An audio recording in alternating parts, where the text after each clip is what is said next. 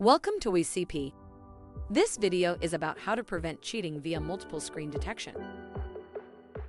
If you're struggling with preventing cheating via multiple screen sharing while ensuring a secure online screening process is a concern, this video walks you through exactly what you need to do so you can assess candidates on their skills without relying on any external means of assistance.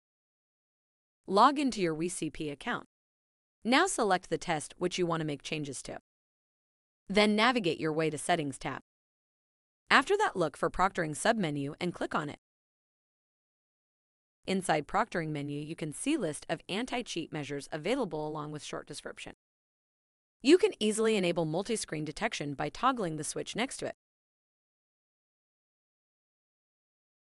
Once you enable the proctoring, remember to save the configuration by pressing the Save Changes button on the top.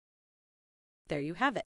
In just a few steps, you have configured a safeguard for your test by restricting the use of multiple displays.